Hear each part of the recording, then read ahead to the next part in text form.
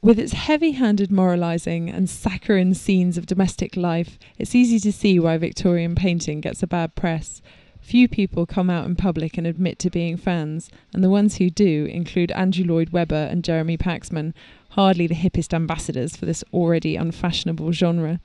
But, as the cliche goes, there's more to Victorian painting than meets the eye. The Victorian age was decidedly interdisciplinary, an age where art and literature went hand in hand.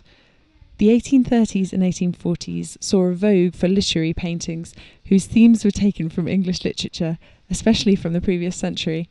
Paintings depicting scenes from Sterne, Goldsmith, and Pepys were particularly popular and were often exhibited with lengthy quotations. These found a ready audience in the newly rich novel reading middle class and taught the Victorian public not only to equate painting with literature, but also that a painting was often something which could be read like a novel. In this series, I'm going to take you on a whistle stop tour through some of my favourite paintings, decoding their rich symbolism and basking in their often ridiculous didacticism.